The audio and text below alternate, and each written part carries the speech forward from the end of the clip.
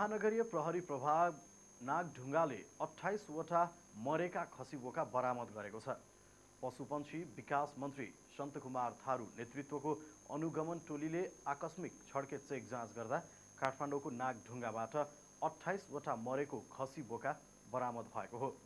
नेपालगञ्जबाट काठमाडौँ आइरहेको ना पाँच ख एक छ आठ दुई नम्बरको गाडीमा रहेका मृत अठाइस खसीसहित गाडी चालकलाई प्रहरीले नियन्त्रणमा लिएको छ।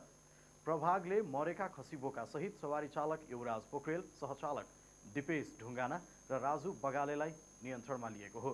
अनुगमनको क्रममा मन्त्री थारूले स्वस्थ स्वास्थ्य र अस्वास्थ्य खसीको वर्गीकरण गरी दसैँ तिहार तथा छठ पर्वमा बिक्री वितरण गर्न निर्देशन दिँदै मासुका विषयमा कसैले हेलचेक्राइ गरे सरकारले कडाभन्दा कडा कारवाही गर्ने चेतावनी दिनुभयो।